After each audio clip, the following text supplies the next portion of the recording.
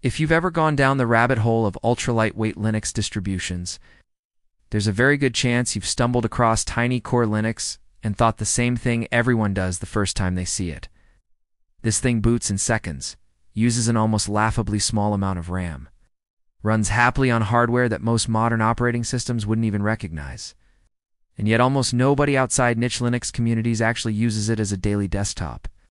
That raises an obvious question. If Tiny Core is so fast, so efficient, and so technically impressive, why isn't it mainstream? Oh, why isn't it the default recommendation for reviving old computers? Powering modern low-end devices or even competing with lightweight distros like Lubuntu, Xubuntu, or Linux Mint XFCE? Damned. To answer that properly, we need to go much deeper than just saying it's too minimal or it's for advanced users. The real reasons are more subtle, more structural, and they reveal a lot about what most people actually want from an operating system versus what sounds good on paper. Let's start with what Tiny Core actually is, because a lot of misunderstandings come from comparing it to the wrong things. Tiny Core Linux is not just a smaller Ubuntu or a stripped-down Fedora. It's built on an entirely different philosophy. The base system is incredibly small, originally around 10 to 16 megabytes depending on the edition, and even the largest Core Plus version is still tiny compared to almost anything else. The system is designed to load into RAM, stay there, and treat storage as something optional rather than essential. From the perspective of speed, this is brilliant. Once it's loaded, everything feels instant. Applications launch quickly, the system is extremely responsive, and even ancient CPUs feel surprisingly capable. On paper, this sounds like a dream. Practice, it immediately clashes with what most users expect a mainstream operating system to do. Most people don't think of their OS as something that boots loads into RAM, then discards itself when powered off unless you explicitly configure persistence. They expect their system to remember everything automatically. They expect software to stay installed. They expect updates to apply in the background. They expect drivers to just work. TinyCore doesn't default to any of that. Not because it's broken, but because it was never designed to. One of the biggest reasons TinyCore isn't mainstream is that it demands a level of intentionality that most users simply don't want. Every decision is explicit. You choose what to load, when to load it, and whether to make it persistent.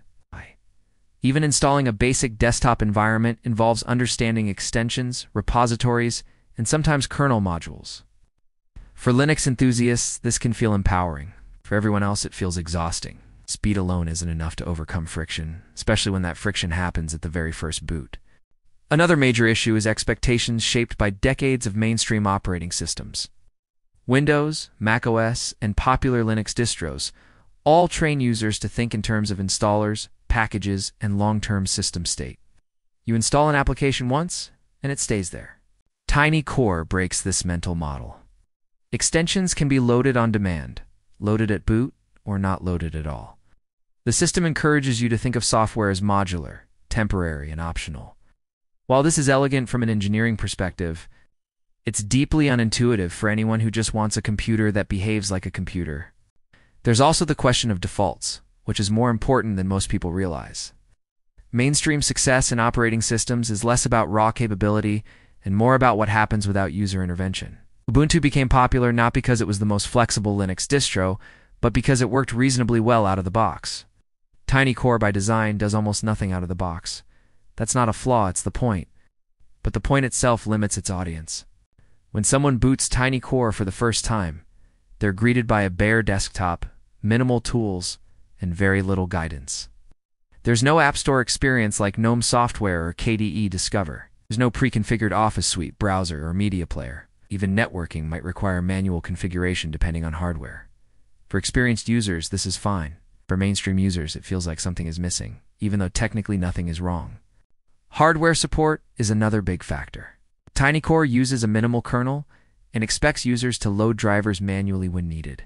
This keeps the system small and fast, but it also means that modern hardware support can be hit or miss without additional work. Wi-Fi adapters, Bluetooth devices, printers, webcams, and GPUs often require extra steps. In contrast, Mainstream distros aggressively include drivers and firmware so things work automatically. Most users are willing to sacrifice some speed and disk space in exchange for not having to troubleshoot their internet connection. Then there's the software ecosystem. TinyCore has its own repository of extensions, and while it covers a surprising amount of ground, it's nowhere near as vast or polished as the repositories for Debian, Ubuntu, or Arch-based systems. You can't just assume your favorite application will be available, or that it will be up to date, or that it will integrate smoothly. For people who live in a browser all day, this might not matter much. For creators, developers, and power users, it becomes a real limitation. Another issue is perception. TinyCore's extreme minimalism works against it in the mainstream narrative. Too many people, Tiny sounds like limited even when that's not technically true. The idea of a 10 or 20 megabyte operating system feels almost like a novelty in a world where even smartphones ship with tens of gigabytes of storage. People assume that something that small must be missing important features, security updates, or stability. Convincing them otherwise requires education, and education is a barrier to adoption. Security itself is also part of the story. TinyCore can be very secure if configured properly, especially because its small footprint reduces attack surface. But security in the mainstream is as much about perception and tooling as it is about actual design. Users expect automatic updates, security notifications, and clear policies. TinyCore puts that responsibility on the user. For organizations, schools, or casual users, that's a deal breaker. Another reason TinyCore isn't mainstream is that speed alone isn't the primary bottleneck for most users anymore. On modern hardware, even bloated operating systems feel fast enough for everyday tasks.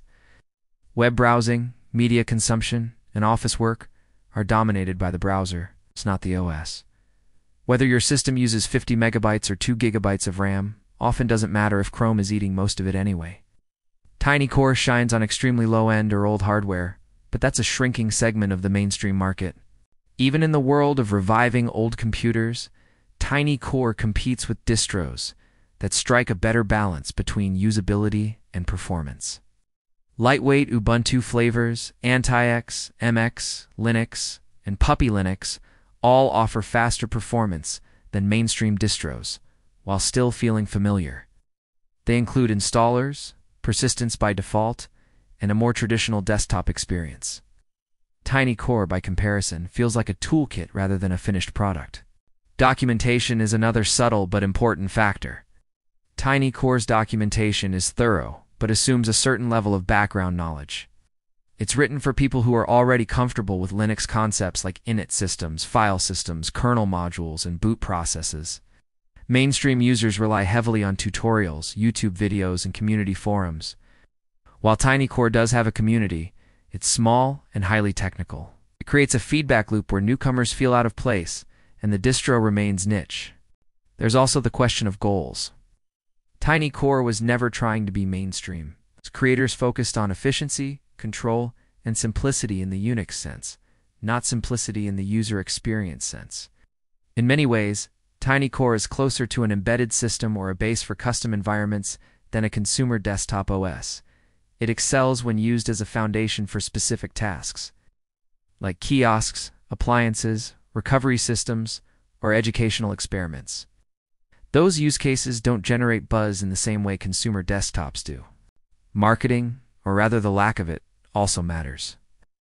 Mainstream distros invest heavily in branding, websites, and polished visuals. TinyCore's presentation is functional and understated. Ow. It doesn't try to sell itself as the future of computing. It doesn't chase trends. That honesty is admirable, but it also means fewer people ever hear about it in the first place. Another often overlooked factor is maintenance burden. Because TinyCore is so minimal, users are responsible for building up their system over time. That means more manual updates, more manual configuration, and more opportunities to break things if you're not careful. For hobbyists, this can be fun. For people who just want a reliable daily machine, it's a liability. We also have to talk about psychology. Many users equate complexity with capability.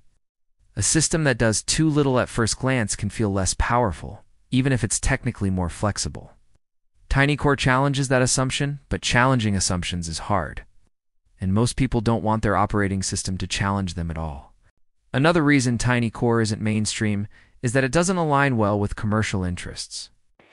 There's no obvious path for vendors to preload it, no easy way to bundle it with proprietary software, no incentive for hardware manufacturers to optimize for it. Mainstream adoption often follows money, and TinyCore lives almost entirely outside that ecosystem. Despite all this, TinyCore's speed is real, and it's not just a party trick. It demonstrates how much overhead modern systems have accumulated and how efficient Linux can be when stripped to its essentials. But that efficiency comes at the cost of comfort, familiarity, and convenience. For most users, those trade-offs aren't worth it. So if TinyCore is so fast, why isn't it mainstream? Ow. Because mainstream computing isn't about being fast at all costs. It's about being predictable, comfortable, and low friction. TinyCore asks users to think, choose, and understand. That's its strength, but it's also the reason it remains a niche tool rather than a household name. And maybe that's exactly where it belongs. Not every brilliant piece of software needs to be mainstream to be valuable. TinyCore exists as a reminder of what's possible, a kind of reference point that shows just how lean an operating system can be. It serves developers, tinkerers, educators, and enthusiasts who value control over convenience.